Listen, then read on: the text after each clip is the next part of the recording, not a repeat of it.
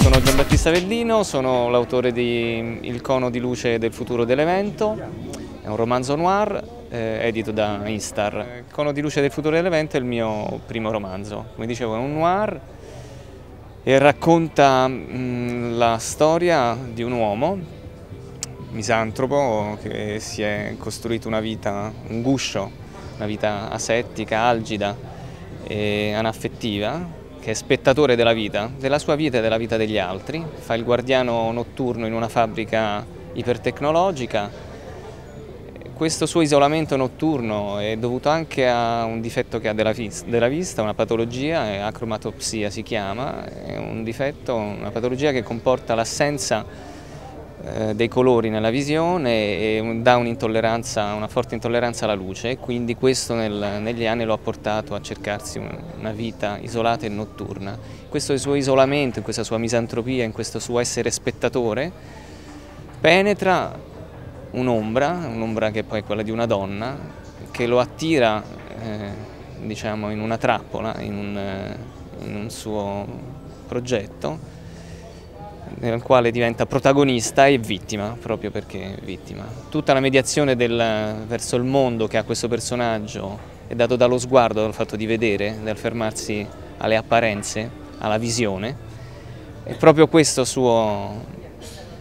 punto di vista, in caso di dire, è quello che lo porta alla perdizione, è lo strumento ideale per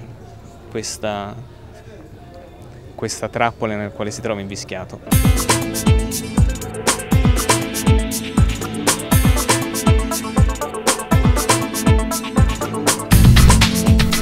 Allora, il cono di luce del futuro dell'evento è una definizione astronomica. Eh, per essere semplici, eh, se il Sole dovesse esplodere, noi qui sulla Terra ce ne accorgeremmo 8 minuti dopo, ma in quegli 8 minuti saremmo già compresi nel cono di luce del fenomeno, dell'evento, dell'esplosione, la luce dell'esplosione, quindi saremo virtualmente già morti, la nostra fine sarebbe già segnata. Ed è quello che succede al protagonista del mio libro, non sa di essere fin dall'inizio dentro il cono di luce di un evento mortale, in un meccanismo che lo, lo soffocherà. E nel libro c'è anche una postfazione di Giancarlo De Cataldo, l'autore tra l'altro di Romanzo Criminale, una bella postfazione devo dire, che insomma ha inquadrato devo, il, il libro come mi aspettavo, come speravo e come forse neanche sospettavo in un certo senso, insomma è riuscito a stanare delle cose che pensavo segrete. E invece evidentemente è un lettore attento e, e sensibile.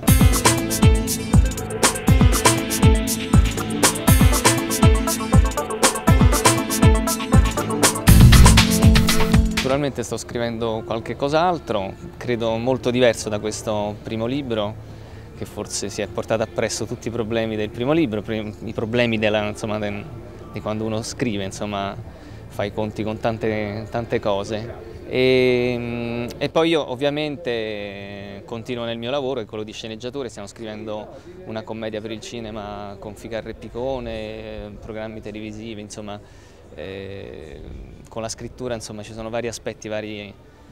lati, vari modi di usare la scrittura e questo insomma della,